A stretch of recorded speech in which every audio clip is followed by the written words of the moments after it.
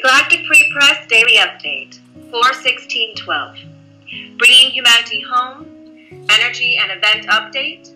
Indeed, victory is ours.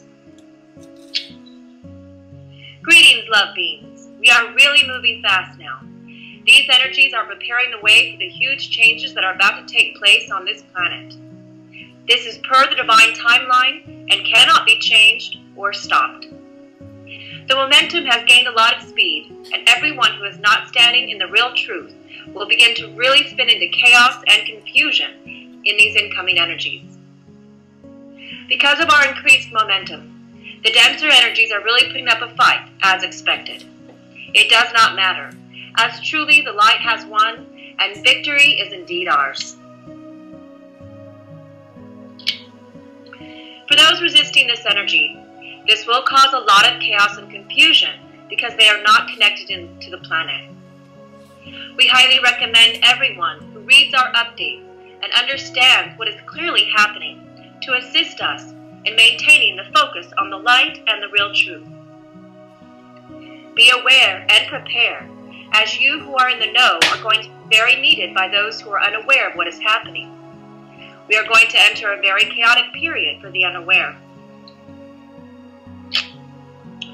We are heading for a huge energetic day on April 21st, 2012, which coincides with the new moon in Taurus, with a unique connect with Mercury in Aries. Watch out for surprises and miracles to occur. Awakening into reality is the true miracle, and is love's prayer being answered for humanity to awaken into all love is. It is our greatest honor to share with all of you on a daily basis the real truth that is unfolding.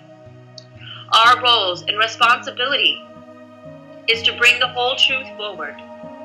Truth is the same as light. We could care less about the naysayers, spiritual egos, and those that are trying to block and hide information. We could care less if you believe us or not. If our messages bring you joy, this is your indicator of real information.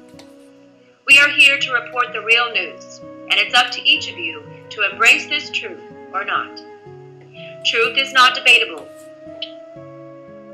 You simply cannot debate truth. Truth is truth. We highly recommend, if you're holding on to any pain and suffering, let it go now. This must be released so that you may begin your mission, which is why you are here. We honor you and thank you beginning your missions in service to love on this planet by actively participating. By divine birthright, this is your planet. Thank you for standing up with us in the light. On the Earth front, we have uncovered many of the main websites we use for earthquake activity and solar activity are not reporting all the information. We now have new sources so that we may continue to bring the truth forward for you. This should be your indicator that many are now aware that a lot of humanity are paying attention. Indeed, victory is ours. Now we wait patiently for this next phase of the divine plan to roll on out.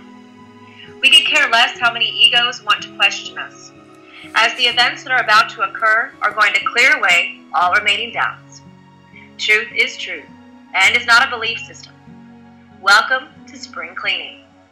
Thank you for spreading the message to others, keeping your hearts open, and staying tuned in. End transmission and all love is unconditionally we are so in love with humanity.